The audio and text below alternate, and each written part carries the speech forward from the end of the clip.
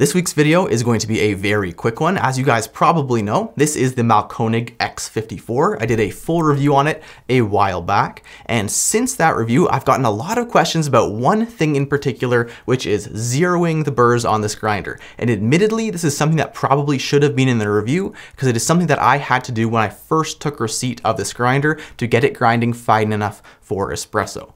Luckily, this process is really, really easy, and I'm going to do it right in front of you, right here, right now. So probably the trickiest part of this is getting this little black cap off. It's basically like a pill bottle you want to push and twist. I think using your two thumbs is probably the best way to do this. If you just push down and then twist counterclockwise, this plastic cap will come straight off and in behind it, there is a little folded spring. Now that you have that off, you can pull this outer ring outwards.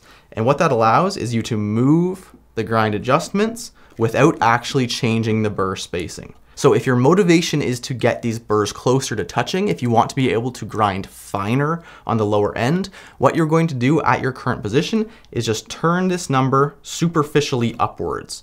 So where this used to be a 10 on the dial, we can now put it at say a 25.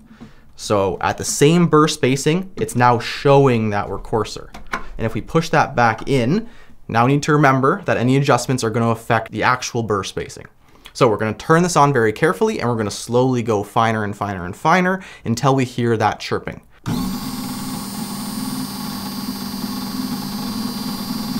Finer.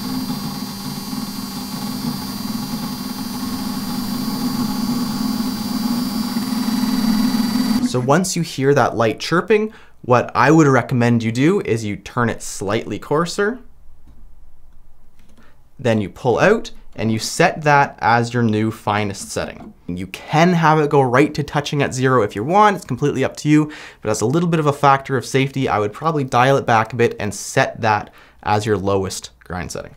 After you get that back in, don't forget to put the spring back in. And then thankfully, this is much easier to put back on than it was to take off. If you are OCD, just remember to have it appearing the same way as it was before. And there we have it. You have just zeroed the burrs on your Mahlkönig X54. If you guys found this video useful, please leave us a big thumbs up and even consider subscribing if you want to see some more like it in the future. Thanks for watching, and I will see you in the next one.